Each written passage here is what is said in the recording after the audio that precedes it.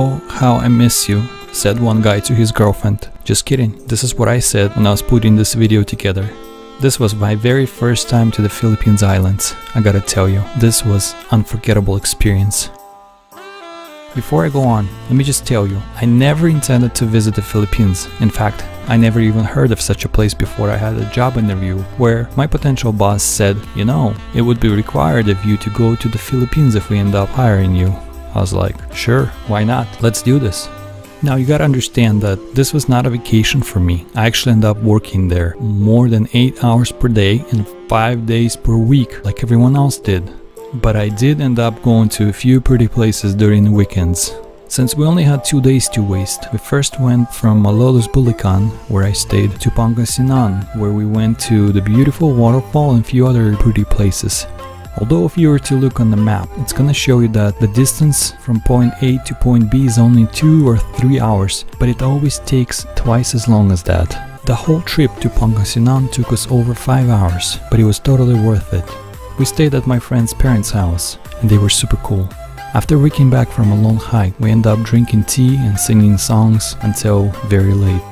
Early in the morning, we left to Hundred Islands National Park, on Alaminos City, Pangasinan, where we spent the whole day eating amazing food and swimming in the warm, salty ocean. The locals took us on this awesome speedboat to couple islands, and then we end up spending the most of the day on Marcos Island.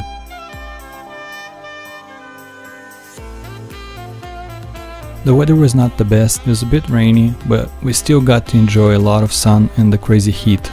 Luckily, I had my waterproof Samsung Galaxy S8 smartphone with me, so I was able to record some footage in the water and even made a phone call to USA from underwater in the deep ocean. That was so cool, I don't even know how I came up with that idea. My nephew picks up the phone, What's with all the noise? I was like, never mind, I'll call you back later when I'm out of the water. Yes, my phone still works perfectly fine, and I'm not even sponsored by Samsung.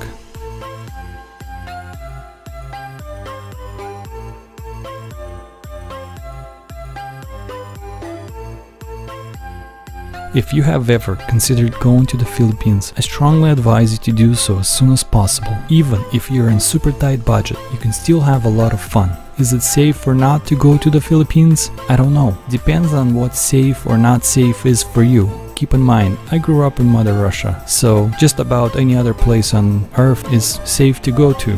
Filipinos are the most awesome and friendly people you'll ever get to meet in your life. The places we went to weren't even anywhere near to what you can find in the Philippines. Check out other videos on YouTube by other tourists and you'll get to see some cool drone footage of absolutely astonishing places. Going back to the Philippines this year is definitely on my to-do list. I'm actually planning to be there twice this year. When you go there, don't forget to take your drone and a really nice video camera with a gimbal stabilizer. I'm definitely taking my drone and couple GoPros next time I'm going there. I hope you enjoyed watching this video as much as I enjoyed being there.